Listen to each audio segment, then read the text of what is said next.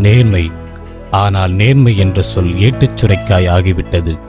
லஞ்சமும் ஊழலும் எழுதப்படாத சட்டமாக இருக்கின்றது. லஞ்சம் ஊழல் என்ற பெருங்கடலில் மக்களின் உரிமைகளும் வளங்களும் மூழ்கடிக்கப்படுகிறது. பாமர மக்கள் முதல் படித்தவர்கள் வரை அரசியல்வாதிகளுக்கும் அரசு அதிகாரிகளின் அதிகாரப் போக்கிற்கும் படிந்து லஞ்சத்தையும் ஊழலையும் அரைமனதோடு ஏற்றுக்கொண்டு வாழ பழகிவிட்டனர். அப்படி யாரேனும் இவர்களை எதிர்த்து குரல் கொடுத்தால் அவர்கள் அலைகழிக்கப்படுவார்கள். இந்த வேகமான உலக வாழ்க்கையில் நம் வேலை முடிந்தால் போதும் என்ற குறுகிய மனப்பான்மையோடுதான் நாம் இருக்கின்றோம். பொது வாழ்க்கையிலோ அல்லது அரசு துறையிலோ ஒருவர் நேர்மையாக இருந்தால் அவர்கள் இலக்கணப் பிழையாக கருதப்படுகிறார்கள்.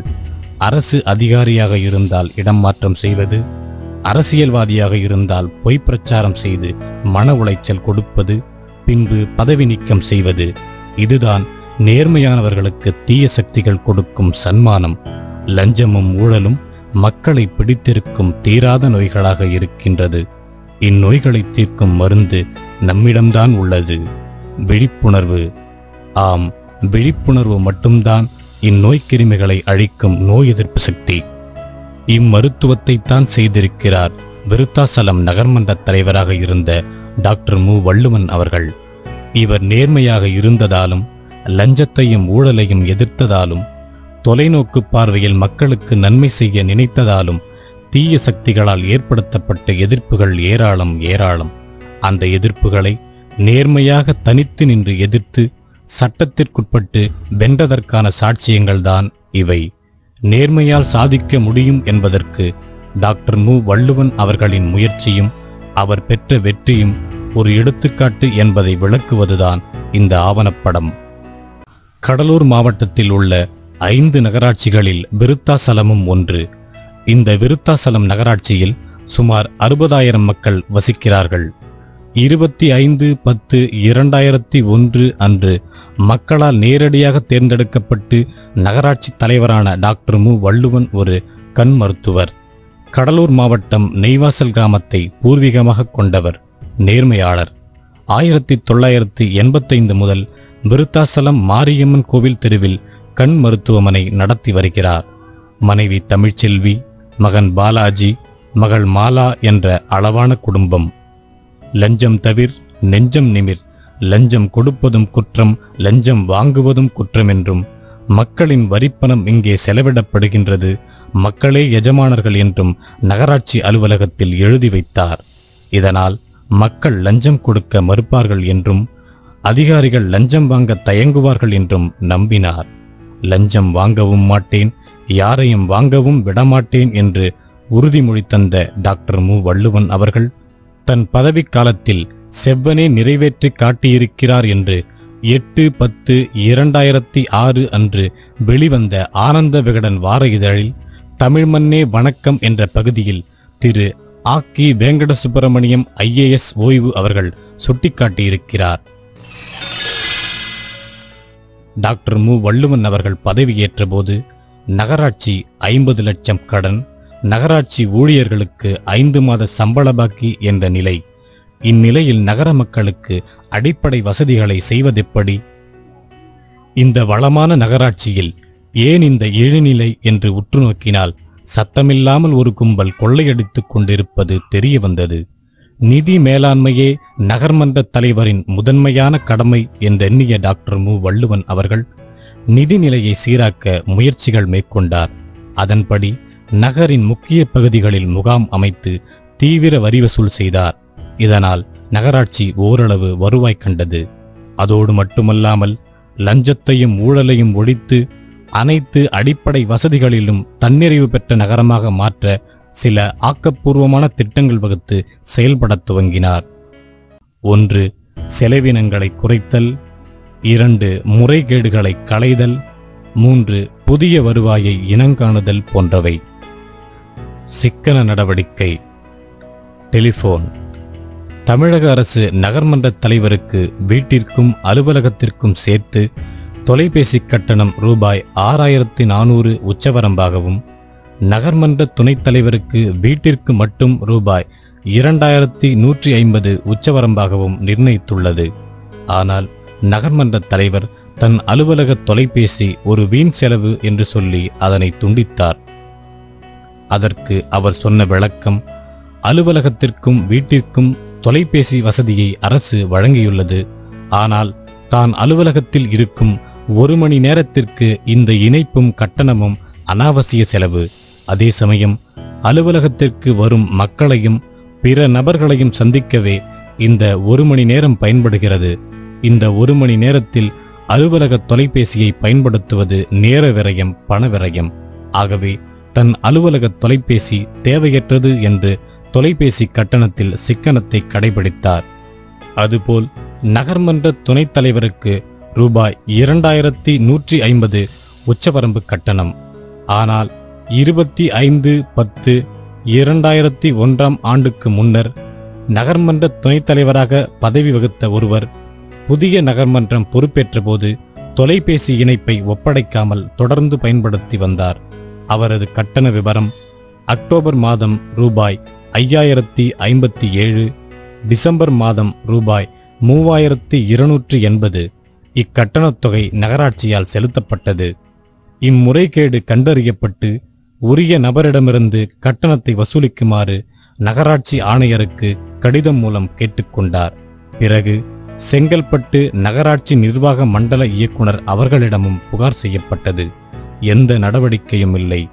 தொலைபேசி இணைப்பை கைப்பற்றி வீண் செலவை கட்டுப்படுத்தினாலும் சம்பந்தப்பட்ட நபர் மீது மேலதிகாரிகளுக்கு புகார் எழுதியதோடு மட்டுமல்லாமல் ஊழல் தடுப்பு கண்காணிப்புத் துறையிலும் புகார் செய்தார். மின்சார கட்டணம். நாம் பார்த்திருப்போம் மாலையில் முன்னதாகவே தெருவிளக்குகள் எரியப்பட்டுவிடும். அதே சமயம் காலை விடிந்தும் விளக்குகள் அணைக்கப்படாமலும் இருக்கும். இதனால் நகராட்சிக்கு மின் கட்டண விரயம் மட்டுமின்றி மின் விரயமும் கூட. நகரின் மின் விளக்குகளை காலை ஐந்து முப்பது மணிக்கு முன்னர் நிறுத்துவதற்கும் மாலை ஆறு முப்பது மணிக்கு பின்னர் எரியவிடவும் ஆவண செய்வதன் மூலம் சுமார் ரூபாய் பத்தாயிரம் வரை மின் கட்டணம் குறையும் என்றும் மழைக்காலத்தில் மட்டும் சூழ்நிலைக்கேற்ப மாற்றம் செய்து கொள்ளலாம் என்றும் நகராட்சியை கேட்டுக்கொண்டார். அதன்படி உரிய நேரத்தில் மின் விளக்குகளை நிறுத்தாத நகராட்சி ஊழியர் மீது ஒழுங்கு நடவடிக்கையும் மேற்கொண்டார். டீசல் உபயோகம். நகராட்சியில் பயன்படுத்தப்பட்டு வந்த அனைத்து வாகனங்களுக்கும் டீசல் செலவு சம்பந்தப்பட்ட பதிவேடுகள் முறையானதாக இல்லை என்பது ஆய்வில் தெரிய வந்தது. அதன் பேரில் டீசல் செலவினத்திற்கு காரணமாயிருந்த அந்தந்த வாகன ஓட்டுநர்கள் மீது இடைவிடாது புகார் செய்ததன் மூலம் நடவடிக்கை எடுக்கப்பட்டு கண்காணித்ததன் மூலமும் டீசல் செலவீனம் வெகுவாக குறைக்கப்பட்டது. சில புகார்கள் மீது நகராட்சி நடவடிக்கை எடுக்காததால் நகராட்சி நிர்வாக மண்டல இயக்குனருக்கு புகார் செய்ததோடல்லாமல் ஊழல் தடுப்பு கண்காணிப்புத் துறையின் பார்வைக்கும் கொண்டு சென்றார். டி என் முப்பத்தி ஒன்று வி எழுபத்தி ஐந்து இருபத்தி மூன்று என்ற துப்புரவு பணியில் இருக்கும் லாரி கண்டறியப்பட்ட முறைகேடுகள். ஞாயிற்றுக்கிழமைகளில் குப்பை எடுத்ததற்கான டீசல் செலவு பதிவேட்டில் எழுதப்பட்டுள்ளது. அனுமதியில்லாமல் டிவிஎஸ் கம்பெனி திருச்சிக்கு சென்று வந்ததாக எழுதப்பட்டுள்ளது. நகர தலைவரின் புகாரின் பேரில் எடுக்கப்பட்ட நடவடிக்கை மாதம் ரூபாய் இரண்டாயிரம் வீதம் பிடித்தம் செய்யப்பட்டு வைப்புத் தொகையாக வைக்கப்படும். வருங்காலத்தில் தணிக்கை தடை ஏதும் எழாத பட்சத்தில் அத்தொகை அவருக்கே வழங்கப்படும் என உத்தரவிடப்பட்டது. டி என் முப்பத்தி ஒன்று டி முப்பத்தி ஆறு ஐம்பத்தி எட்டு என்ற பவர் டில்லர் வாகனம். கண்டறியப்பட்ட முறைகேடுகள். லாரி மூலம் குடிநீர் வழங்க வேண்டிய பகுதிகளில் பவர் டில்லர் மூலம் குடிநீர் வழங்கிய துப்புரவு பணியாளர் ஏற்படுத்திய டீசல் செலவினத்திற்கான பதிவேடுகள். நகர தலைவரின் புகாரின் பேரில் எடுக்கப்பட்ட நடவடிக்கை மாதம் ரூபாய் இரண்டாயிரம் பிடித்தம் செய்து சம்பளத்தில் ஐம்பது சதவீத தொகை மட்டும் வழங்க உத்தரவிடப்பட்டது. எதிர்காலத்தில் தணிக்கை தடை ஏதும் எழாத பட்சத்தில் அத்தொகை அவருக்கே வழங்கப்படும் எனவும் உத்தரவிடப்பட்டது. டி என் முப்பத்தி ஒன்று டி இருபத்தி ஐந்து அறுபத்தி எட்டு என்ற பொது சுகாதார குப்பை எடுக்கும் லாரி. கண்டறியப்பட்ட முறைகேடுகள். லாரி ஓட்டுநர் செலவின பட்டியலை குறிப்பிட்ட மாதத்தில் சமர்ப்பிக்கப்படாதது. இதன் விளைவு டீசல் பங்க் உரிமையாளருக்கு தொகை செலுத்தப்படவில்லை. தொகை செலுத்தப்படாததால் பங்க் உரிமையாளர் நகராட்சி வாகனங்களுக்கு டீசல் விநியோகம் வழங்க மறுத்துள்ளார். இதனால் குடிநீர் விநியோகம் பொது சுகாதார பணிகள் தடைபெற காரணமாக இருந்திருக்கிறார் என்ற நகர்மன்ற தலைவரின் புகாரின் பேரில் எடுக்கப்பட்ட நடவடிக்கை இரண்டாயிரத்தி நான்கு ஆகஸ்ட் மாத சம்பளம் நிறுத்தி வைக்கப்பட்டது. டி என் முப்பத்தி ஒன்று எஸ் இருபத்தி ஒன்பது முப்பத்தி இரண்டு என்ற குடிநீர் வழங்கும் டேங்கர் லாரி கண்டறியப்பட்ட முறைகேடுகள். லாரியில் டீசல் முறையாக பயன்படுத்தப்படவில்லை. Log book எழுதப்படவில்லை. ஸ்பீடாமீட்டர் இயங்கவில்லை என்ற நகர்மன்ற தலைவரின் புகாரின் பேரில் எடுக்கப்பட்ட நடவடிக்கை லாக் புக் எழுதப்பட வேண்டும். ஸ்பீடாமீட்டர் இயங்குவதற்குரிய நடவடிக்கை எடுக்கப்பட்டு இயங்க வேண்டும். சம்பந்தப்பட்ட அதிகாரிகளின் ஒப்புதல் பெற்ற பின்னரே டீசல் பிடிக்கப்பட வேண்டும். இவ்வாறு செய்யத் தவறினால் ஏற்படும் டீசலுக்கான நிதி இழப்பினை ஓட்டுநரின் சம்பளத்தில் பிடித்தம் செய்து நகராட்சி நிதியில் ஈடு செய்யப்படும் என உத்தரவிடப்பட்டது. அதுபோல் குடிநீர் சம்பந்தப்பட்ட தீர்மானங்களை நகராட்சி அமுலாக்கம் செய்யாததால் குடிநீர் தட்டுப்பாடு உண்டானது. தட்டுப்பாடு உண்டானது என்பதை விட தீர்மானங்களை செயல்படுத்தாததால் குடிநீர் தட்டுப்பாட்டை உண்டாக்கினார்கள் என்பதுதான் சரியானது. இதனால் டிஎன் முப்பத்தி ஒன்று எஸ் இருபத்தி ஒன்பது முப்பத்தி இரண்டு என்ற அதே குடிநீர் லாரி மூலம் குடிநீர் விநியோகம் செய்யப்பட்டது. இவ்வாறு குடிநீர் விநியோகம் செய்ய ஆகும் செலவை சம்பந்தப்பட்ட ஒப்பந்ததாரரிடம் வசூலிக்கப்பட வேண்டும் என்றும் நகர்மன்றம் ஒப்புதல் அளித்துள்ள குடிநீர் சம்பந்தப்பட்ட தீர்மானங்களின் பணிகளை விரைவுபடுத்த வேண்டும் என்றும் கால தாமதத்திற்கு காரணமானவர்களிடம் டீசல் செலவை வசூல் செய்யவும் நகராட்சியை கேட்டுக்கொண்டார். சம்பந்தப்பட்ட அதிகாரிகளுக்கு மட்டுமல்லாமல் ஊழல் தடுப்பு கண்காணிப்புத் துறையின் பார்வைக்கும் கொண்டு சென்றார் டாக்டர் மு. வள்ளுவன் அவர்கள். முறைகேடுகளை களைதல். ஒன்று மின் உதிரி பாகங்கள். இரண்டு குடிநீர் தளவாட சாமான்கள். மூன்று கொசு ஒழிப்பு பூச்சிக்கொல்லி மருந்து. மின் உதிரி பாகங்கள். மின் உதிரி பாகங்கள் வாங்கி பயன்படுத்தப்பட்டதாக கோப்பு எண் e இ ஒன் பார் இருபத்தி எட்டு ஐம்பத்தி ஐந்து பார் இரண்டாயிரத்தி இரண்டு என்ற போலியான பதிவேடுகள் மூலம் ரூபாய் அறுபத்தைந்தாயிரம் கையாடல் கண்டறியப்பட்டது. நவம்பர் மாதம் முப்பத்தி ஓராம் தேதி மின் உதிரி பாகங்கள் வாங்கி பயன்படுத்தப்பட்டதாக கோப்பில் எழுதப்பட்டுள்ளது. நவம்பர் மாதத்தில் முப்பத்தி ஓரு நாட்கள் உள்ளதா? இந்த கேள்விக்கு நகராட்சி ஊழியர்கள்தான் பதில் கூற வேண்டும். மற்றும் ரசீதுகளில் சேல் டாக்ஸ் இல்லை. மொத்த தொகை ரூபாய் ஒரு லட்சத்து இரண்டாயிரம். அத்தொகையில் ரூபாய் அறுபத்தைந்தாயிரம் கையாடல் செய்திருப்பதை கண்டறிந்து கண்காணித்ததன் மூலம் முறைகேடுகள் தவிர்க்கப்பட்டது. நிர்வாக மண்டல இயக்குனருக்கு முறையிட்டதோடு ஊழல் தடுப்பு கண்காணிப்புத் துறையின் பார்வைக்கும் கொண்டு சென்றார். குடிநீர் தளவாட சாமான்கள். கண்டறியப்பட்ட முறைகேடுகள். எம்எஃப் நம்பர் தொண்ணூறு என்ற குடிநீர் விநியோக பதிவேட்டினை ஆய்வு செய்தபோது இருபது ஹெச்பி மோட்டார் ஒன்றும் ஏழு புள்ளி ஐந்து ஹெச்பி மோட்டார் ஒன்றும் என இரண்டு மோட்டார்கள் பெறப்பட்டு அதற்கான தொகை ரூபாய் முப்பத்தி ஒன்பதாயிரத்து நானூற்றி ஐம்பது வழங்கப்பட்டது. மோட்டார்கள் இயங்குகின்றதா என்று ஆய்வு செய்ய சம்பந்தப்பட்ட பகுதி பொறுப்பு எழுத்தரை பணித்தது நகர்மன்றம். மேற்படி ஆய்வு செய்ததன் மூலம் இருபது ஹெச்பி மோட்டாரும் ஏழு புள்ளி ஐந்து ஹெச்பி மோட்டாரும் எங்கும் இல்லை என்று கண்டறியப்பட்டது. அதுபோல் கையுறைகள் வாங்கியதாக பதிவு செய்யப்பட்டுள்ள பதிவேட்டில் ஹேண்ட் கிளவுஸ் பத்து செட்டு இன்ட்டு எழுபது ஈக்குவல் டு ரூபாய் ஆயிரத்து நானூறு என்ற தவறான கணக்கின் மூலம் முறைகேடு கண்டறியப்பட்டது. அது மட்டுமல்லாமல் விருத்தாசலம் நகராட்சிக்கு வறட்சி நிவாரண நிதி மூலம் மார்க் டூ கைப்பம்பு அமைக்க திட்ட மதிப்பீடு தயாரிக்கப்பட்டது. அதற்கான மொத்த தொகை ரூபாய் நாற்பத்தைந்தாயிரம் வரை ஆகும் எனவும் அதிகபட்சம் ரூபாய் ஐம்பதாயிரம் வரை செலவாகக்கூடும் எனவும் பல வல்லுநர்கள் தெரிவித்தார்கள். ஆனால் பல ஆண்டுகளாக இப்பணிக்கு ரூபாய் ஒரு லட்சம் வரை மதிப்பீடு அளித்து நடைமுறைப்படுத்தப்பட்டுள்ளது. இரண்டாயிரத்தி மூன்றாம் ஆண்டிற்கான திட்ட மதிப்பீடும் ரூபாய் ஒரு லட்சத்திற்கு தயாரிக்கப்பட்டது. இத்திட்டம் உள்நோக்கம் கொண்டு தயாரித்ததாக கருதிய நகர்மன்ற தலைவர் ஊழல் தடுப்பு கண்காணிப்புத் துறையில் புகார் செய்தார். கொசு ஒழிப்பு பூச்சிக்கொல்லி மருந்து. நகர்மன்ற தலைவர் நகர்மன்ற உறுப்பினர்களை ஆறு குழுக்களாக பிரித்து நகர தேவைகளை கண்காணித்து நடவடிக்கை மேற்கொள்ள பணித்தார் அவை நிதிக்குழு குடிநீர் குழு துப்புரவு குழு சாலை அமைப்பு குழு மின்சாரக் குழு கட்டிட அமைப்பு குழு இக்குழுக்களின் பணிகள் குறித்த நகலையும் நகர்மன்ற உறுப்பினர்களுக்கு வழங்கினார்.